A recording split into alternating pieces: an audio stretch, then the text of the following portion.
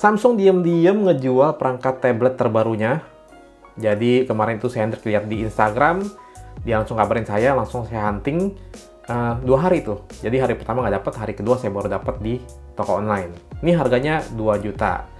Ya udah langsung aja.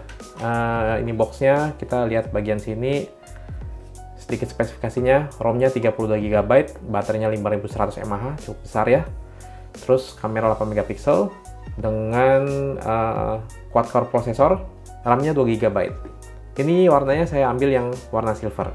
Jadi ada dua pilihan warna satu kalau nggak salah yang black ya. Udah langsung aja deh kita buka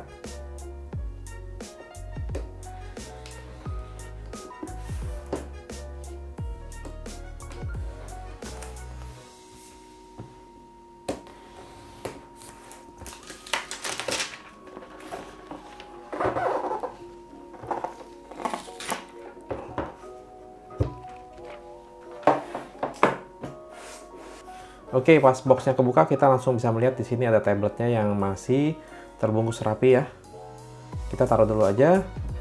Terus di sini ada chargernya dengan output 5 volt 1,55 ampere. Ini ada kabel micro USB.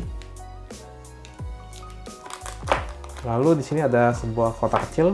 Uh, oh ini ada SIM ejectornya terus dalamnya ada kitab-kitabnya.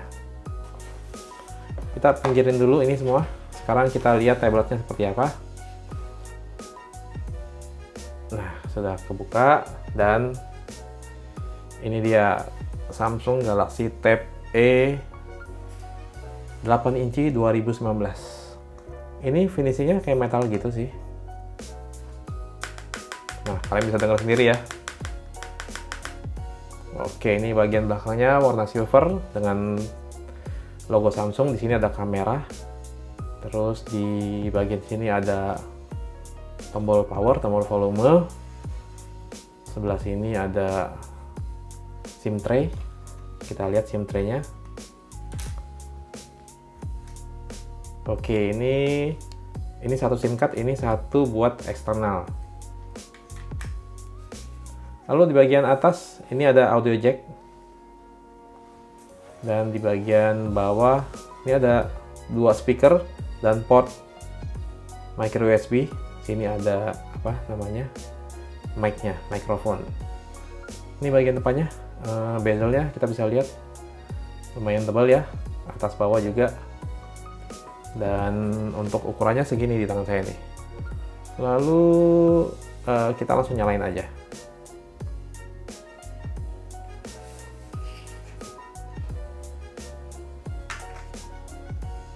Oke, jadi ini dia tampilan home dari Samsung Galaxy Tab E 8 inci 2019. Layarnya ini ya sebesar 8 inci dengan resolusi 800 x 1280 pixel. Terus dia memakai panel TFT. Untuk lock screen-nya dia nggak ada fingerprint.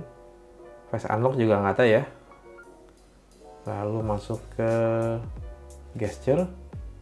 Di sini ada double tap to wake, terus swipe to call or send message terus uh, oke okay, kita lihat storage-nya. Storage-nya free 21,7 GB dan memorinya 636 MB oke di bagian settingan display dia ada adaptive brightness juga. Terus ada night mode.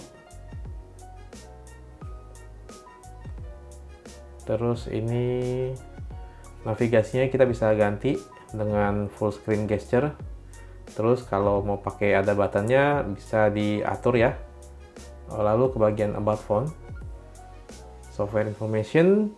Di sini kita bisa lihat UI-nya pakai One UI 1.1 dengan Android version Android 9 atau Android Pie. Semoga aja bakal kebagian Android 10 ya dan kebagiannya segera, jangan lama-lama. Oke, udah itu aja battery information. Uh, di sini tertulis 5100 mAh kapasitasnya lalu itu aja. Oke sekarang kita lihat kameranya aja deh. Ini dia UI kameranya. Uh, di bagian atas ada setting. Terus di sini ada timer. Ada filter juga. Lalu kita lihat menu-menunya. Di sini ada HDR panorama. Terus ada mode Pro juga, ada live focus, tapi live fokusnya untuk orang aja nih. Ada tulisannya Find a Face di sini. Terus foto, video, stiker, nah, lumayan juga ya fiturnya ya. Sama ada continuous shot. Kita cek autofocusnya.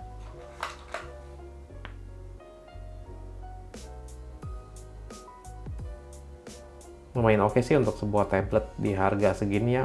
Lalu untuk kamera depannya, oke kamera depannya beresolusi 2 megapiksel, ada live focus juga di sini. Lalu ya udah gitu aja kita nggak perlu explore, explore terlalu banyak.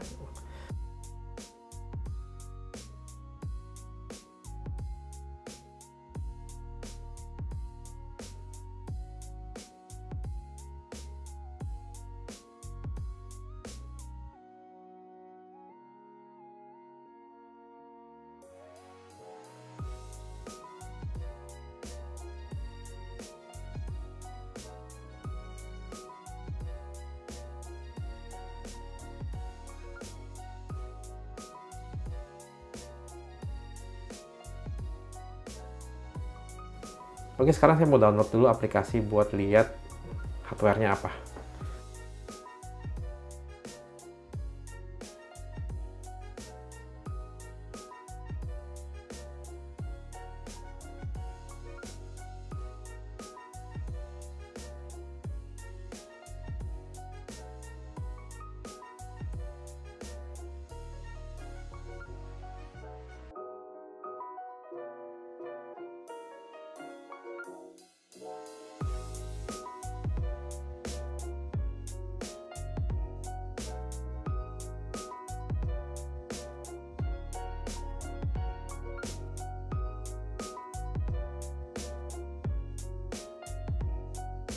Oke, saya rasa cukup sekian video unboxing Samsung Galaxy Tab E8 inci 2019 kali ini.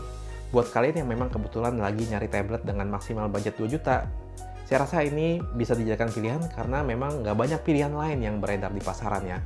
Terutama karena semakin tergerusnya pasar tablet dengan smartphone-smartphone jumbo. Jadi, kayaknya cuma Samsung yang masih konsisten menghadirkan tablet di Indonesia. Buat kalian yang tertarik untuk membeli tablet ini, kalian bisa cek link pembelian di kolom deskripsi di bawah ya. Sampai di sini dulu video kali ini, kita ketemu lagi di video lainnya.